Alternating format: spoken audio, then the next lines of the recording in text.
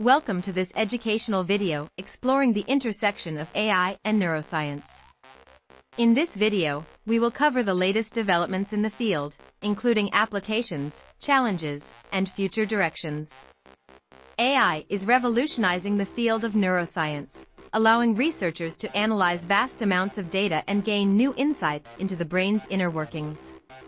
In this segment, we will explore some of the key applications of AI in neuroscience. One of the most exciting applications of AI in neuroscience is in brain imaging. AI algorithms can help researchers analyze brain scans more quickly and accurately than ever before, providing new insights into brain function and dysfunction.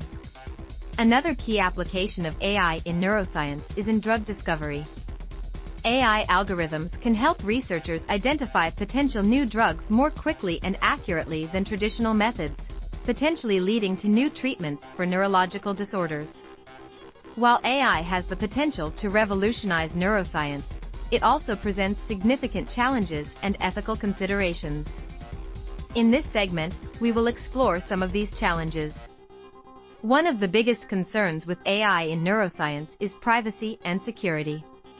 As researchers collect more and more data on the brain, there is a risk that this data could be misused or stolen it is important to develop robust security measures to protect this sensitive information. Another concern with AI in neuroscience is the issue of bias and fairness. AI algorithms are only as good as the data they are trained on, and if this data is biased, the algorithms will be too. It is important to ensure that AI is used in a fair and unbiased way. Looking to the future, there are many exciting directions for AI in neuroscience. In this segment, we will explore some of these potential applications. One of the most exciting potential applications of AI in neuroscience is in brain-computer interfaces.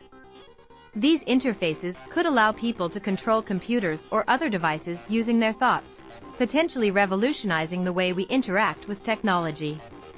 Another potential application of AI in neuroscience is in neuroprosthetics. These devices could help people with neurological disorders regain lost function, such as the ability to walk or use their hands.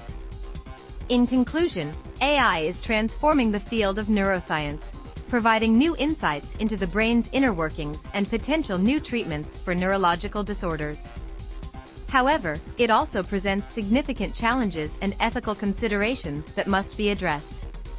Thanks for watching, please like, comment, share and subscribe.